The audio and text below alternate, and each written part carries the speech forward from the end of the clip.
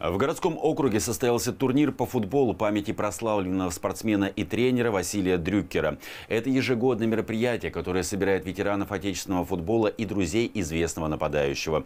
Все подробности расскажет наш корреспондент. На этот раз местом встречи стал стадион «Электрон» в поселке Красково. Уже в 16-й раз ветераны люберецкого футбола играют в память о своем друге, предшественнике Василия Дрюкере. Именно столько лет прошло со дня смерти выдающегося спортсмена.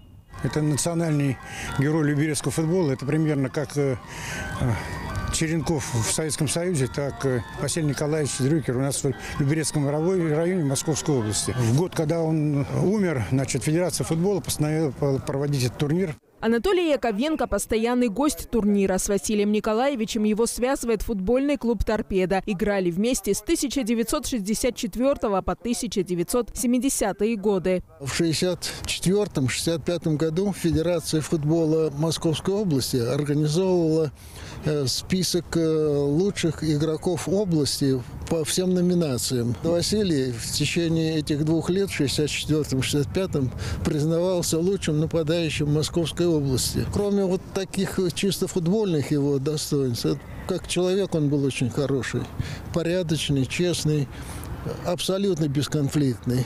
На турнир приехали 8 ветеранских команд со всего городского округа. В нем приняли участие спортсмены из соседних муниципалитетов. Несмотря на морозы, мокрый снег, игра состоялась. Каждый год играем в этом турнире.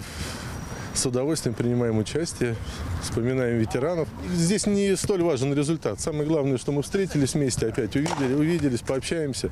Вот это основной результат. А получится выиграть, будет замечательно. Главный приз – кубок, посвященный памяти ветерана люберецкого футбола. Он будет храниться у команды, занявшей первое место, ровно год. А уже на следующем турнире перейдет новому победителю. Луиза Игиазарян, Петр Пономаренко, телеканал ЛРТ.